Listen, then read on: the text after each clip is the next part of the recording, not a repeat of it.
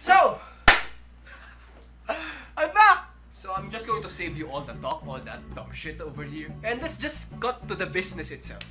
Cut to the cheese, my friends. So I've been planning to make this video for quite some time. And I'm not going to talk any of that, why, where have I been or what have I been doing for the past 6 months or 12 months. When was it? Nah, none of that, okay? I'm not going to talk any of it. Instead, we are going to the destination itself. We're grinding today, baby! We're grinding! Oh my god! Uh, if it wasn't obvious to you guys from this point on, I am sick. Well, a bit sick. Nagkaroon lang ako ng konting sipon past few days na. Pero ngayon, gumagaling naman ako. Wala akong COVID. Wala akong COVID. Wala akong COVID. Okay? Wala akong COVID. Wala akong COVID.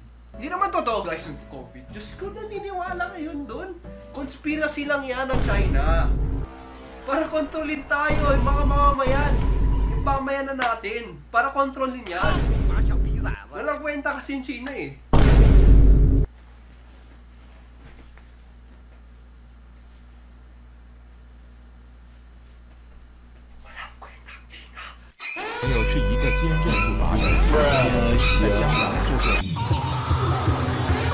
Ah, so pagbukas, wala na ako. May marinig kayo sa balita na may nawawalang bata, tapos binugbog, pinangbabaril.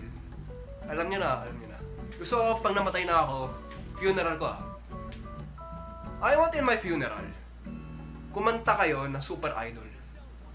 Tapos umikot-ikot kayo. Paikot-ikot kayo sa roundabout. Limang beses. Tapos gusto ko, habang ginagawa niyo yun, umiiyak kayo. Yun yung, yun yung tipong funeral, pre. Pero ewan, let's go. Bukas, we're doing something great. We're doing something awesome.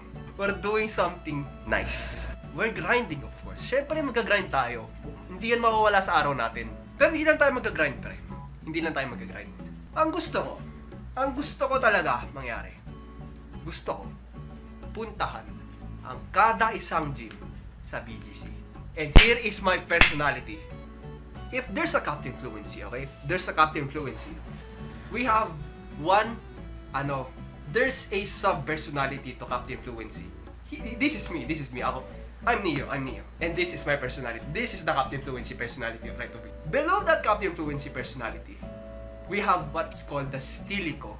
Stilicho the Roman personality. Kinuha ko yung pangalan na yun sa isang famous Roman general. I really think that, ewan, nakangasa na talaga ako sa kanya. Imagine mo na pinaanak ng German. Tas half German, half Roman. Pero talagang umalis ka. Talagang inayaw mo. Ayaw mo sa, du- sa dugong German mo tapos naging fully fledged Roman ka. To the point na magpapakamatay ka in order to survive, to make that empire thrive for longer. Wala, nakakasa na talaga sa kanya. Ayan si Stilicho the Roman. Si Stilicho the Roman.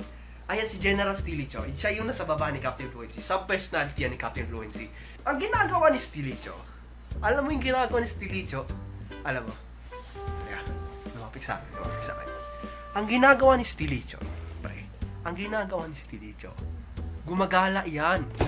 Nag-expedition yan malayo. Gumagala. That's where the gala part of Captain Fluency comes from.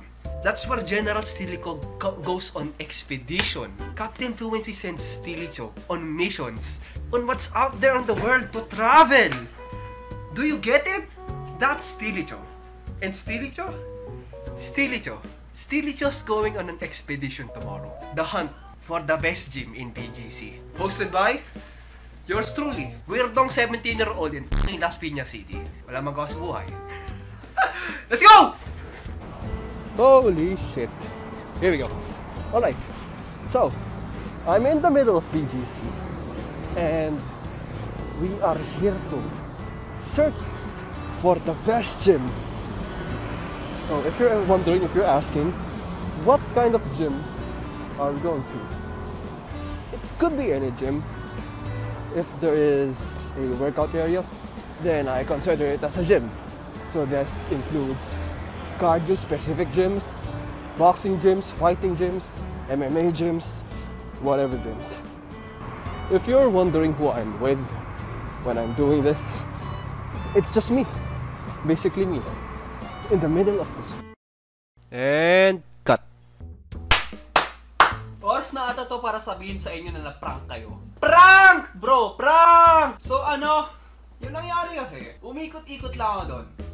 For two whole hours, umikot-ikot lang ako. Akala ko, akala ko, akala ko talaga, hanggang 3 pa ako doon. Kasi dumating ako 7 doon. 7 or 6. Eh, ang plano ko, 9 ako pupunta sa gym mismo. Sa una kong gym, sa una kong gym. Nag-ikot-ikot lang muna ako. Ikot lang ako, nag-ikot-ikot lang ako. Wala akong masyadong plano na pumunta sa ibang gym. Nag-ikot-ikot lang talaga ako. Tapos ayun pala, kailangan ko nang umuwi ng 9. Hindi pala 3, 9, 9. Eh, hindi ko naman kasalanan talaga eh. Kaya ito, umikot-ikot lang ako dun. At na-prank kayo kasi akala nyo, akala nyo na may pupuntahan ako. may pupuntahan ako. Totoo naman mga to, Diyos ko. Ay, nga, pero ang dami ko na-record. Ang dami ko talaga na-record. Here are some of the bits na na-record ko dun. Aside from that, extend ko naman ng vlog. Huwag kayo mag-alala, huwag kayo mag-alala. Na-prank lang kayo, pero vlog pa rin to, vlog pa rin to, tol. Our first destination is Uptown. Anong klase mga gym na makikita natin dito? Hindi ko alam. Unang beses ko pumunta ng Uptown.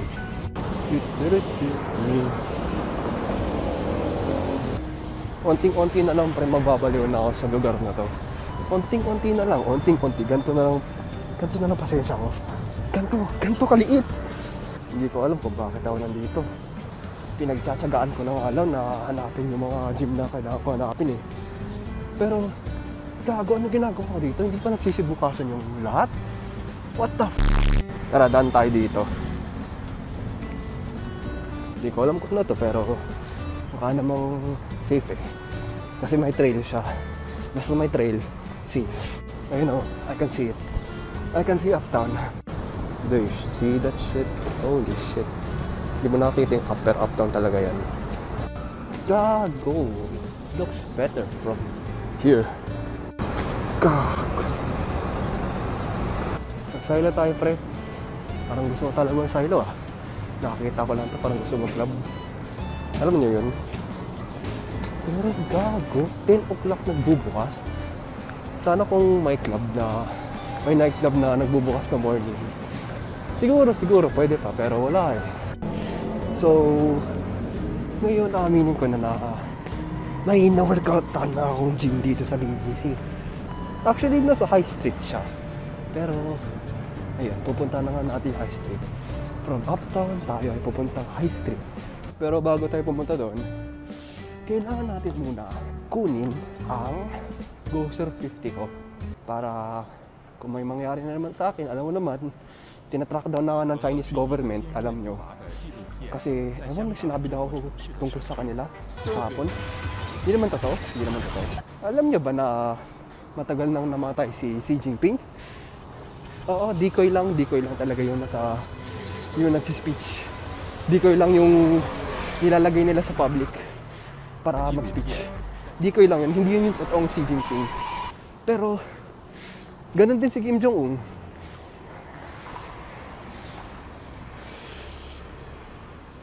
Bakit ito nilalabas tungkol sa gobyerno ng China?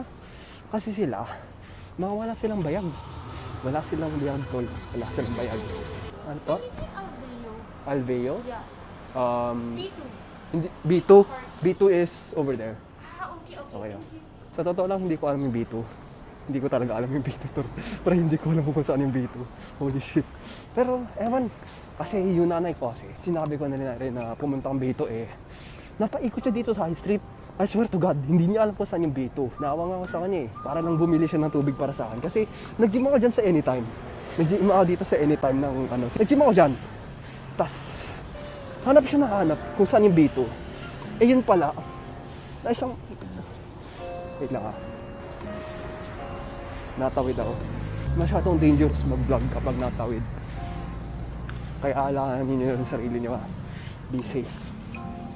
Pero, asa ano ako? Nasa ibang building ako, pero ang dinari ko sa kanya, pumuntang B2. Iikot siya ng ikot doon sa building. Tanong siya ng tanong. Hindi niya, hindi niya, hindi niya maano, hindi niya ma-reach kasi hindi naman pala nasa B2 ang Anytime Fitness dito.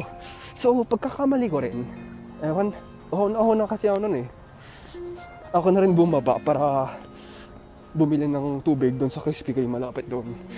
Pero katangan aside, masarap talaga mag-workout dito. I swear to God. Ayoko na gamitin tripod ko eh. Ito. Kasi magmumukha, mas magmumukha talaga ang tanga pag ginamit ko to. Ito, tingnan niyo. Ay, saan ba yun? Kago. Ayun, ay, ito, ito, ito. Kita nyo to? Hindi ko na to ginagamit, pero ito talaga. OG, OG. Walang Captain Fluency pre pag walang ganito. Hindi tayo pwede mag-greetings. Oh, shit, nakalimutan ko. Greetings, I say to you all. My name is Captain Fluency. And today, we are searching for the best gym here in BGC. And go to Jordan Store. Here is one gym that I like. One gym na nagpapamotivate talaga sa'yo para mag-workout. I know. I know it myself na nandito yon. Kasi pag wala yun dito, pre, lalamunin ko yung sarili ko ng tayo. I swear, I swear. Joke lang, joke lang. Ayoko, ayoko. It's too far kung gagawin ko yan. Pero basically, lahat naman ng Pinoy kilala to. Pero si Rendon Labador, yung fitness army niya na brand of gyms, nandito. Nandito malapit. Dito sa the 4th Street. Harap lang, harap lang ng High Street. Ito, kita nyo to? This big place over here.